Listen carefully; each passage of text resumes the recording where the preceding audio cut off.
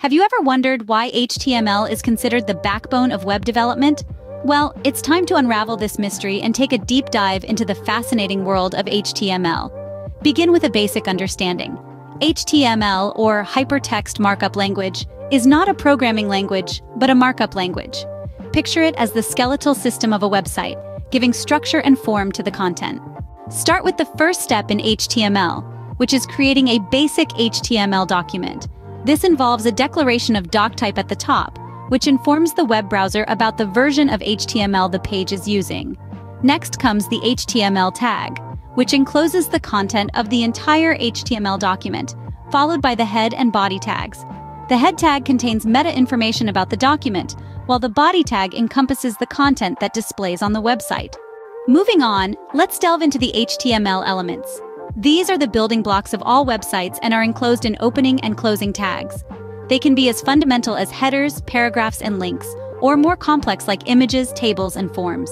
Understanding how to use these elements correctly is essential to creating a well-structured web page.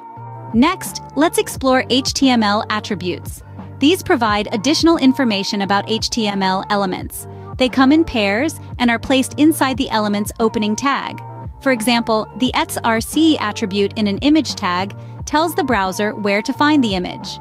One crucial aspect of HTML is the concept of nesting.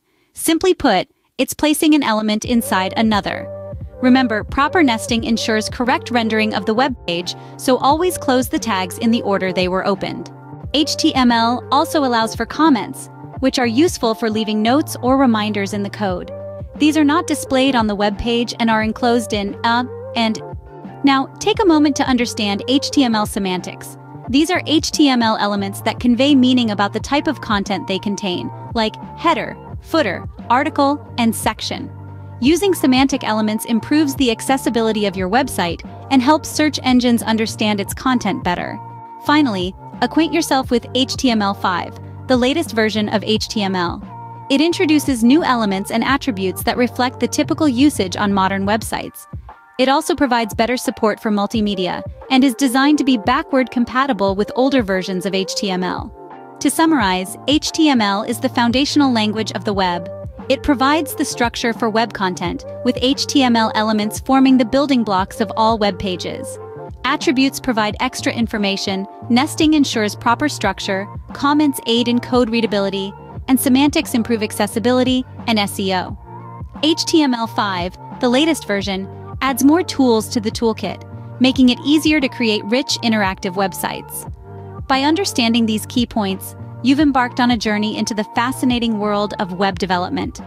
Remember, mastering HTML is like learning a new language. It takes time, practice, and patience.